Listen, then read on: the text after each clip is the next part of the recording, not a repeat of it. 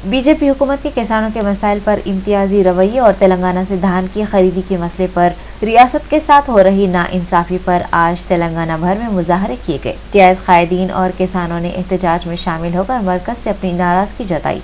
Chairman Telangana state mineral development corporation M Krishna की जेर क्यादत आज सिकंदराबाद के कंटोनमेंट ताड़बन चौराहे पर एहतजाज किया गया और वज़ीर अजम का पुतला जलाकर नाराज़गी का इजहार करते हुए धान की खरीदी का पुरजोर मुतालबा किया गया। రైతు వ్యతిరేక కేంద్ర ప్రభుత్వం.